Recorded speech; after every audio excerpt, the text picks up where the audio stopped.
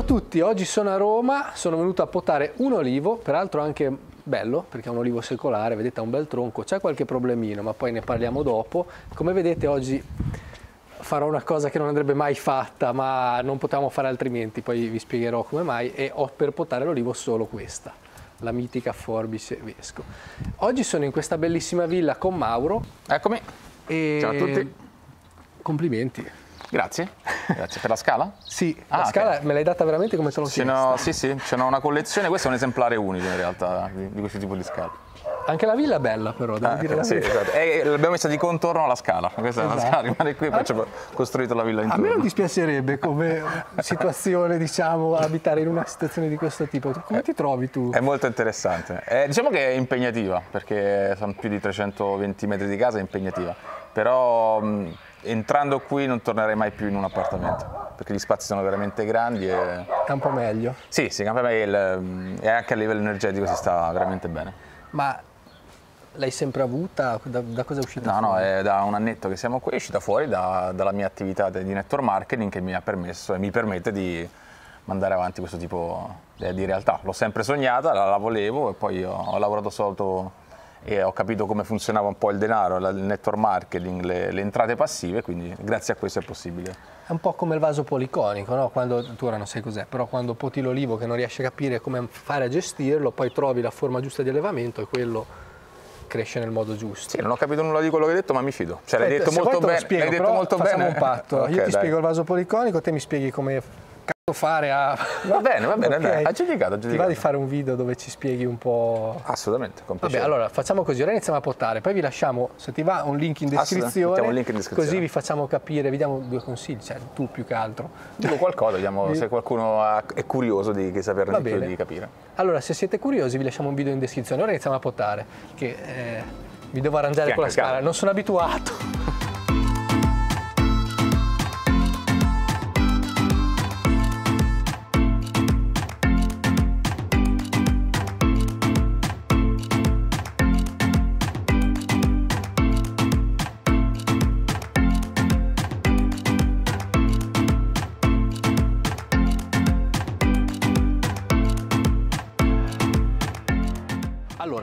Intanto osserviamo un po', ho già preparato la scala, osserviamo un po' questa pianta, è potata diciamo a vaso libero, quindi non la stravolgeremo ovviamente anche perché è impossibile, anche perché comunque ha un aspetto, non credo Mauro che tu ci raccolga le olive.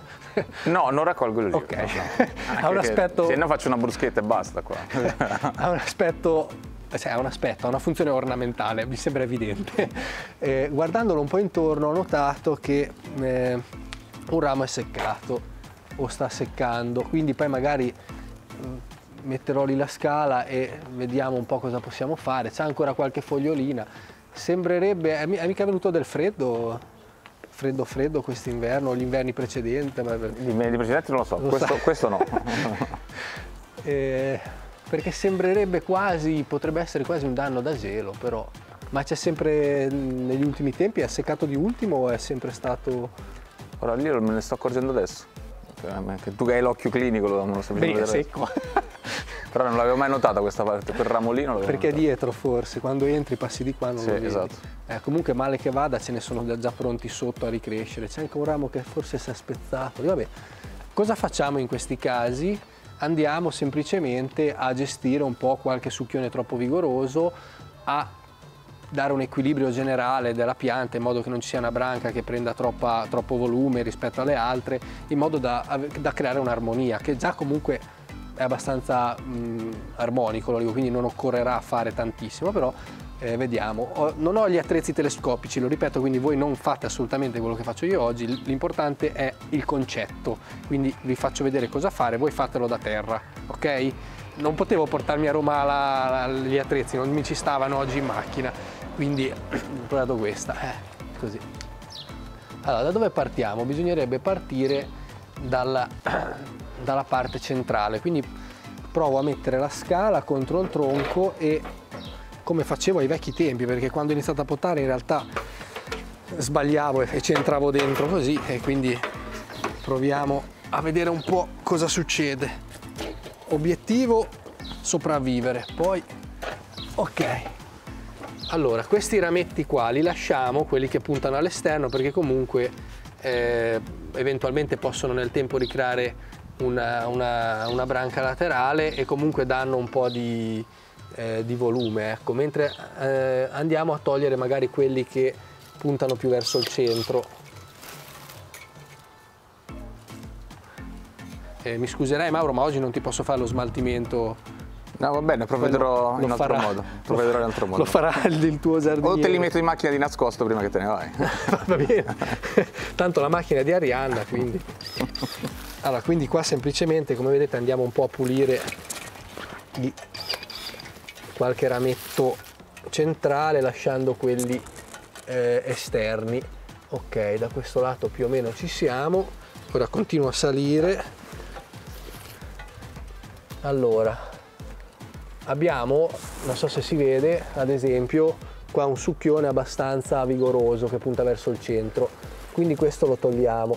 Chiaramente eh, anche se è una potatura ornamentale eh, teniamo presente il, la salute della pianta, quindi assolutamente non eh, togliamo, non, non, evitiamo di togliere tutti i succhioni sul dorso perché sennò poi dissecca l'interno, cioè dissecca al dorso perché come sapete non passa più la linfa Ora c'è ancora qualche succhione un po' vigoroso al centro, chiaramente questa pianta è, è stata trasportata qua e eh, per farlo è stata diciamo capitozzata come potete anche vedere, quindi ora il volume della pianta, cioè, o meglio il rapporto per, un, diciamo, per un tronco così grosso c'è poca chioma, quindi la pianta comunque produce tanti succhioni per tentare di riequilibrare questo rapporto ora continuo a salire un po' sono all'ultimo gradino più di così non posso.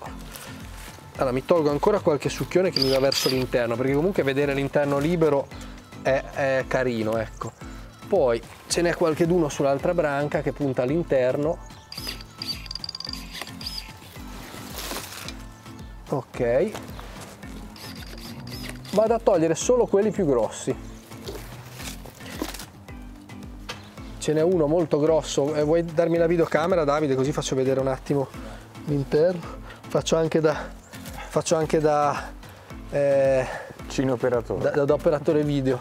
Allora vedete questo? Questo è un succhione grosso centrale verticale non ce ne facciamo niente. Qua ce ne sono altri ora questi li vado a togliere. Quella lì è la zona diciamo dove eh, è, sta seccando un po' quella branca. Anche di qua vedete quanti ce n'è centrali quindi ora mi occupo di fare questo lavoro qua.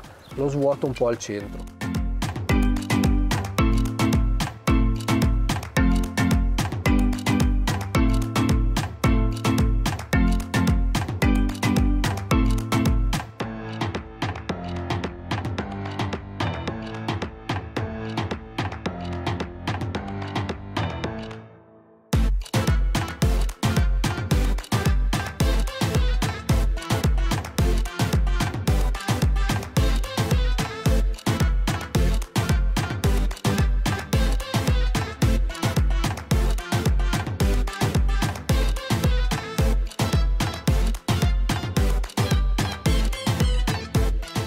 Allora, diciamo che per quello che potevo fare oggi ho fatto. Come vedete ho tolto più che altro dei succhioni, ehm, ho liberato un po' il centro e diciamo che se avessi avuto gli attrezzi quelli telescopici potevo rifinire meglio un po' le cime, ma per, per oggi ci accontentiamo così.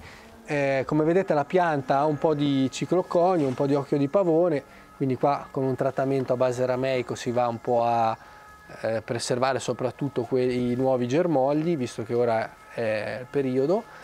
E che altro dire? È un bel tronco un bel, um, questo olivo qua è, è un bel aspetto anche monumentale quindi è giusto prendersene cura. Chiaramente vedete che la struttura è un po' cioè non è un vaso policonico ma l'abbiamo detto è un vaso libero quindi ci sono più strutture in questo caso più, parti, più branche primarie eh, proprio perché lo scopo non è quello di gestire la pianta al meglio dal punto di vista della velocità di potatura e di raccolta, ma creare una, una, cosa armonica e diciamo che a parte quella parte un po' secca dietro ci siamo, ecco così, un aspetto, a me, cioè quelli che fanno gli olivi a ombrello, eh, tutti che, che vai contro la natura dell'olivo, nemmeno per aspetto ornamentale lo accetto, diciamo. Questo è simile alla forma naturale dell'olivo, che sarebbe più chiusa all'interno, più a globo, è una forma che secondo me è corretta anche in un contesto di questo tipo.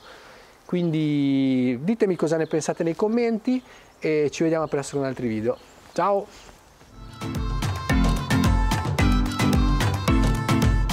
Questa somma di queste cose ha fatto sì che eh, otto anni fa mi sono trovato con 300.000 euro di debiti, uno sfratto esecutivo in corso